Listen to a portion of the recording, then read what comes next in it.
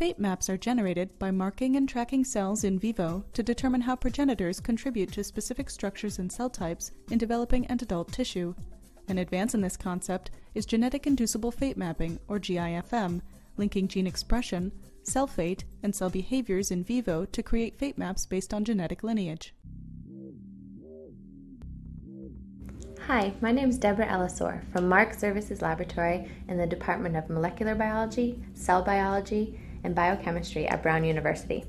Today, my colleagues Ashly Brown, Liz Normand, Nellwyn Hagan, Steve Brown, and I will demonstrate a procedure for genetic inducible fate mapping.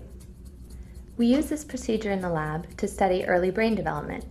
We can also apply this technique to gene inactivation studies and animal models of human disease. So let's get started.